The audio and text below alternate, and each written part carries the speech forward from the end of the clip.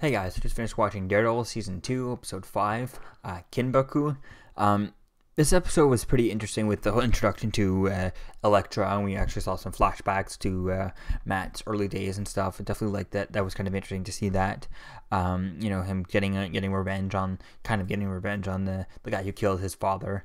Um, that was definitely interesting to see that. I definitely can't wait to see how this kind of whole dynamic with uh, him and Elektra, especially with the ending, how it's, it's, supposed to be a cool fight scene. It looks like there's going to be a fight scene between uh, with Daredevil and Elektra teaming up. So it'll be cool to see that.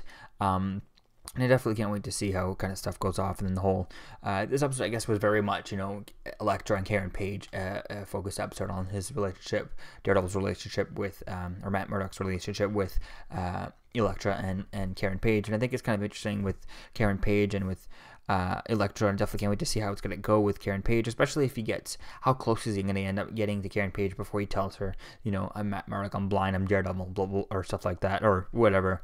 Um, or is, there, is she going to find out some hard way that he's Daredevil? You know, I think it definitely, I could see maybe Elektra as a jealous girlfriend type thing could maybe, um, you know, force him to, you know, and make him re- reveal it to her or to, to, to Karen without him knowing that Karen was watching or something like that. I think that could definitely be cool.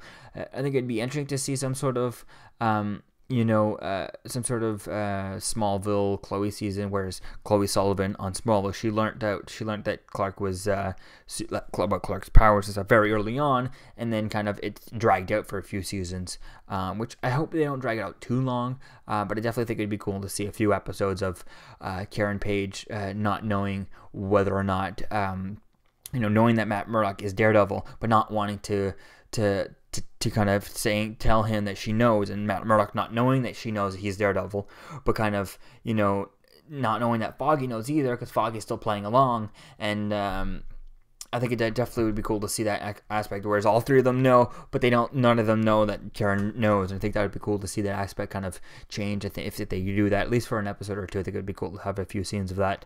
Uh, but I wouldn't want it to be dragged out. Uh, I mean, it was okay for them to drag it on on Smallville since we had we had week by week episodes, and always like the thing of finding out whether or not that's going to happen. Whereas this, you know, if they don't if she finds out he's Daredevil, but Matt doesn't know that she knows that he's Daredevil, then that could be, and they don't finish that off by this season. I think that would it's just too much of a wait because you, everyone you watch this episode, it's you know, at most people get these uh, would drag these episodes out into a, a for a week. Uh, you know, or two weeks or something. But uh, if you watch one one a, a, night, but no one does, so everyone gets it done within like two weeks. Everyone will have the full season done. So I definitely think it'd be interesting to see uh, her kind of do that, but not for too long. So who knows? Maybe for 13 episodes, there's too many for that. But it'd definitely be cool for like you know she finds out at the, at the end of one episode and then kind of you know tells them at the end of not the next one, but the one after. You know she kind of the end, last scene is of her is like, oh I know you're Daredevil, blah blah, blah.